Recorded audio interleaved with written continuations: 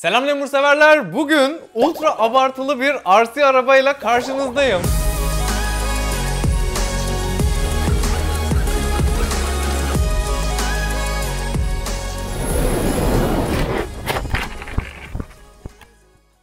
Araçla ilgili şu an beklentim aşırı yüksek çünkü şimdiye kadar incelediğim bütün RC arabaların toplam maliyetinden daha yüksek bir fiyata mal oldu bu bana. Dolayısıyla beni bayağı mutlu etmesini umuyorum. Öyle olmalı. Araba Traxxas'ın e-Revo modelinin 4x4 versiyonunun ikinci nesli. Böyle garip kod adları falan da var da o kadarına girmeyeceğim. Şöyle hemen size bir yakından göstereyim. Önce aracın süspansiyon sistemini göstermek istiyorum. Çünkü çok farklı bir süspansiyon sistemi yapmışlar. Çok hoşuma gitti. Şimdi normalde süspansiyonlar hep şu tekerleğin yanlarında falan olur. Bunda iç tarafta yanlamasına duruyor. Şuradaki mekanizma baskıyı şu parçaya aktarıyor ve buradan işte süspansiyonlar hareket ediyor. Şöyle baktığınızda bayağı değişik fakat çok hafif böyle güzel bir hissiyatı olan süspansiyon sistemi var. Şurada kocaman bir fırçasız motorumuz var. Şurada ESC'miz yani kontrolcümüz bulunuyor. Şurada bir dişli sistemimiz var fakat bunun içini gösteremem şu anda. Ve son olarak sağ sol hareketi için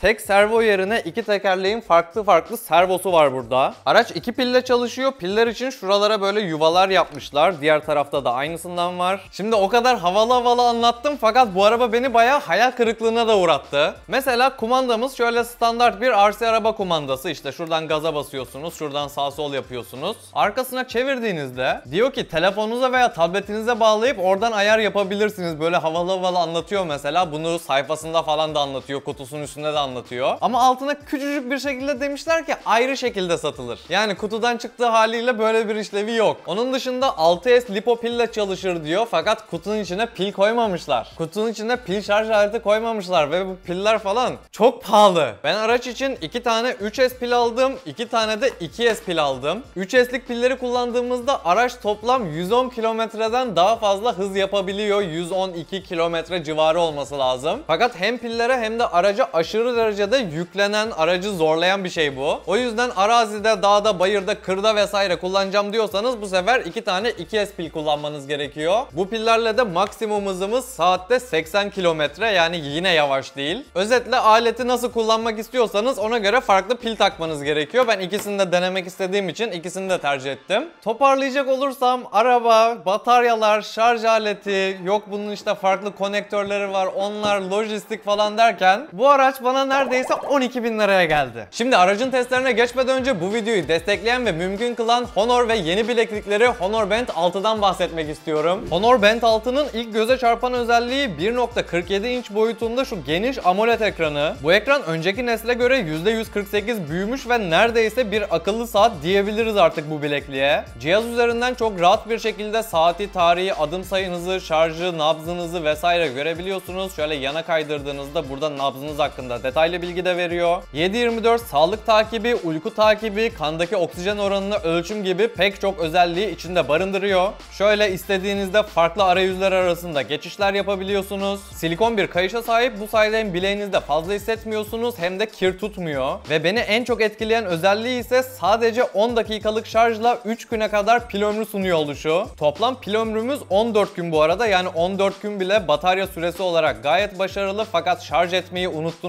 diyelim. Sabah elinizi yüzünüzü yıkarken 10 dakika şarj etseniz 3 gün boyunca kullanabiliyor oluşunuz çok çok çok güzel bir özellik. Bunlara ek olarak tabii ki cihazın bir telefon uygulaması da var. Telefon uygulaması üzerinden pek çok farklı arayüz indirebiliyorsunuz. Buradan uykunuzu vesaire takip edebiliyorsunuz ve çok detaylı güzel bilgi veriyor. Toplam uyku sürenizi, derin uykunuzu vesaire hesaplayarak buraya uykunuza bir puan veriyor. Gördüğünüz gibi genel olarak benim puanlarım düşük.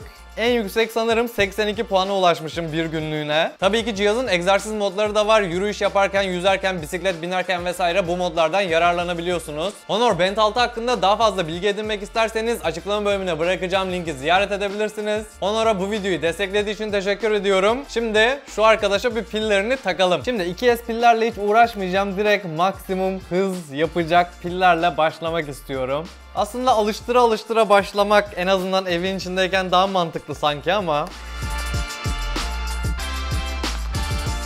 Hadi hakkımızda hayırlısı.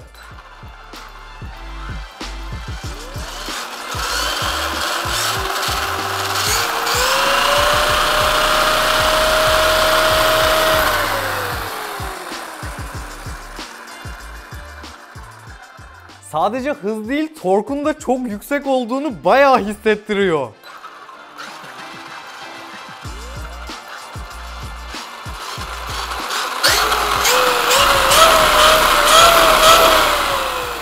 Şu an sadece bu tekerlekler niye yana dönüyor onu merak ediyorum. Durduktan sonra düzeliyor bakın. Hızlandıkça şu tekerlek yana doğru bir gitme eğiliminde. Niye böyle ki? Tekerlekler de bayağı şişiyor yani. Bunlar öteki RC arabalarımın tekerleklerine göre bayağı geniş. Ona rağmen şiştiğini hissediyorsunuz. Bunu şu an yerde sürmeyi hiç denemek istemiyorum. Hiç mantıklı bir fikir gibi gelmiyor. Ben bunu direkt kapatayım. Pillerin şarjını fullleyeyim.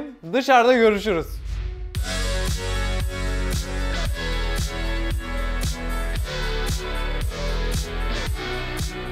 Evet dışarı geldik. Her dış çekimde olduğu gibi hava muhteşem. Her an fırtına kopabilecek gibi. Şu an bir taraftan rüzgardan ağlıyorum. Bunu güneşten takmadım. Bayağı ağladığım için taktım. Size rüzgar sesi gelmesin diye şöyle mikrofonu falan kapatıp garip şeyler yapacağım. Arabaya 2S pilleri taktım. Yani bir kontrolü öğrene kadar ilk önce bir 80 kilometreden daha fazla hızlanmak istemiyorum. Bir de şu hafif yana çekiyordu ya. O yana çekmesi beni birazcık gerdi. Şöyle bir açalım. Başlıyoruz bakalım.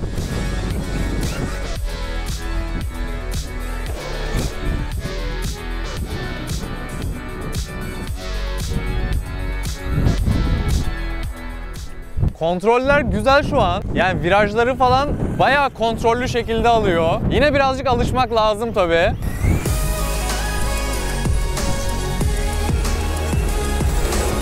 Şu an ağladığımı gösterir misin Harun? Bak şu an gerçekten ağlıyorum. Niye bu kadar garip esiyor bu rüzgar?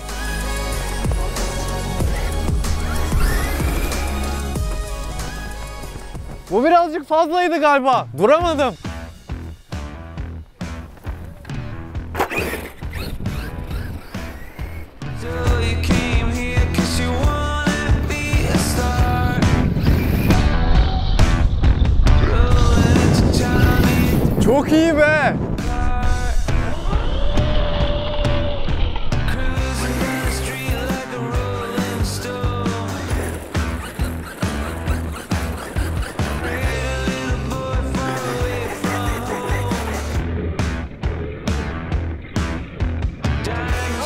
Beach on Sürmek aşırı eğlenceli fakat yağmur başladı. Birazcık bir kaçmamız lazım şu anda.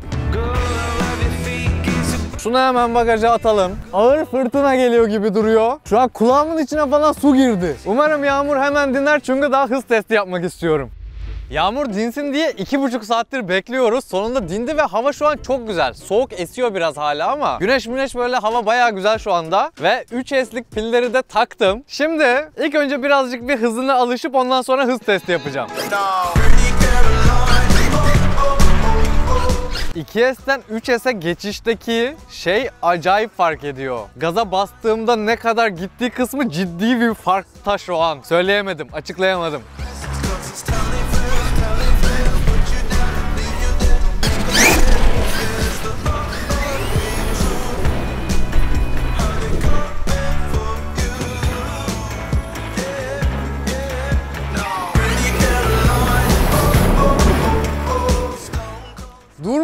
Araba ön falan kaldırmıyor öteki arabalarım gibi ama daha hızlı gidiyor.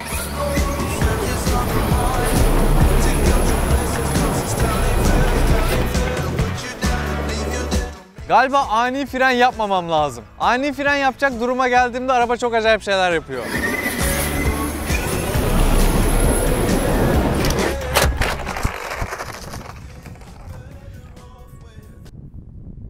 Şu an kameraya mı üzülmeliyim, arabaya mı üzülmeliyim onu düşünüyorum. Kameradan başlayalım. Sağlam. Birazcık, biraz değil, bayağı çizilmiş ama sağlam. Tamam. Tamam şu an paniklemiyoruz. Arabanın düzelme fonksiyonu deneyelim. Bir şey yapınca bunun düzelmesi lazım. Ama ne yapınca düzelecek? Bunun kendi kendine düzelmesi gerekiyor ya. Nasıl düzelecek ki? Keşke kitapçığına baksaydım. Bunun çünkü ters döndüğünde otomatik düzelme fonksiyonu var onu biliyorum. Ama şu an düzelmiyor. Aa şey dişlileri kırılmış. Kamerayı asabilmek için buraya aparat koymuştum. Dişlilerin hepsi gitmiş. Neyse üstten görüntü göremeyeceksiniz. Şu an yapacak bir şeyim yok bu konuda. Neyse umarım arabaya bir şey olmamıştır diyerek bir arabayı deneyeyim.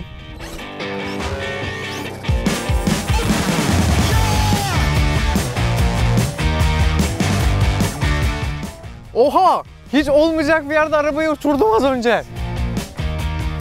Arabayı kaybettim. Ha şurada. Neyse sağlamlık testlerimiz güzel gidiyor.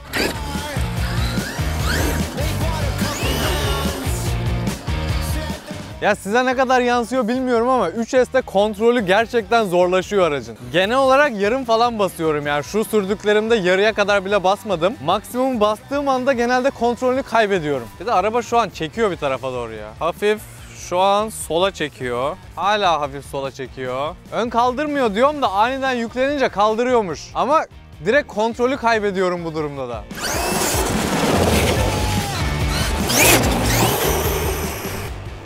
Hayır, galiba çok pis girdim bu sefer. Var mı sorun? Hala yok gibi duruyor biliyor musun? Şu an şaşırıyorum. Azıcık ekstrem testlere geçme vakti geldi bence. Şurada sağlam bir su birikintimiz var. Arabada su geçirmezim diyor. İlk önce bir yavaş mı denesem?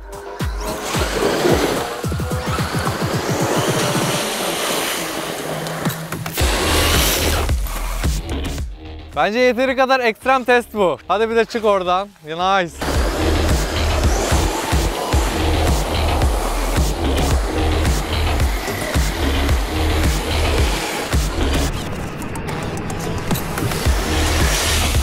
Şu an anlamsız çok eğleniyorum. Çok güzel burada sürmesi.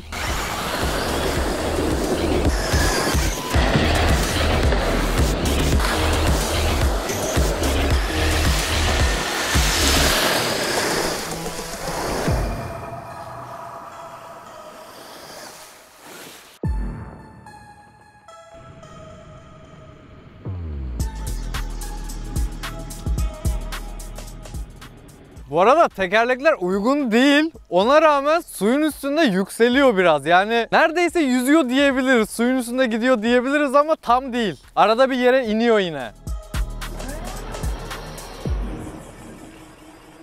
Acaba şuradan hızlanarak başlasam suyun üstünde gider mi? Şuraya atlamayı deneyeceğim. Ya da hiç mantığı yokmuş. Şuradan şöyle geçebilirim. Hadi bakalım.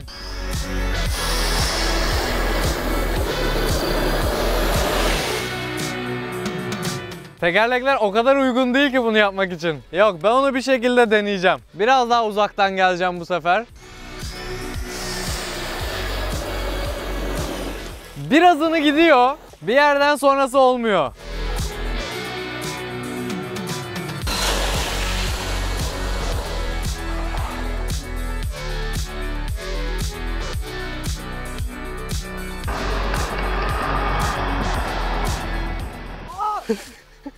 Niye, niye zıpladın? Çok güzel ekrana şey gelecekti.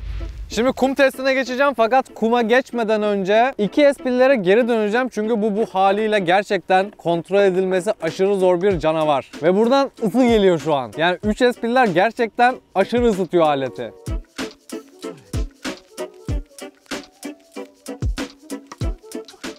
Rüzgar şu an biraz azaldı o yüzden bir drone'u da havalandırayım istiyorum burada.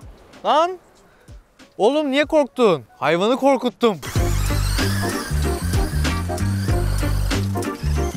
Sahile sizi seviyorum yazayım mı? Drone'dan bakıp bunu yapabilir miyim acaba şu an onu merak ettim. Bakın şu an şuradan takip edip yani sizi seviyorum yazamam da S yazabilirim belki onu deneyeceğim. Bir saniye nereden başlamak mantıklı?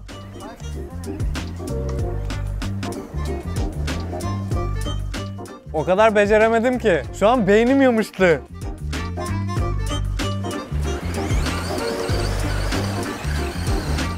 Vazgeçtim. Uzaylı dilinde yazdım şu an öyle varsayın. Çünkü bayağı beceremiyorum ama buradan kontrol edebiliyorum. Şu an oyun oynuyorum. Şu an bayağı şey böyle iki boyutlu bir araba yarışı oyunu oynuyormuşum gibi buradan izleyerek oynamak. Harun'u korkutalım mı? Bak şimdi Harun nasıl geriliyor. Bakın şimdi izleyin.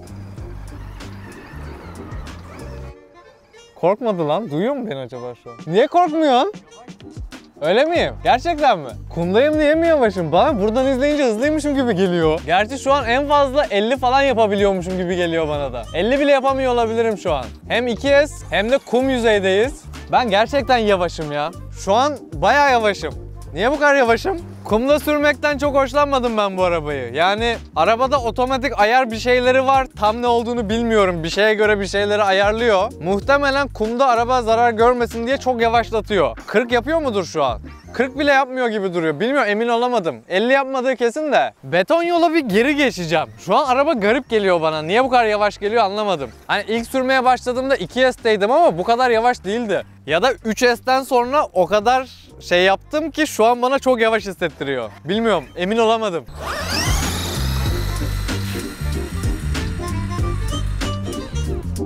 Bu kadar yavaş değildim değil mi ben? Değildin evet.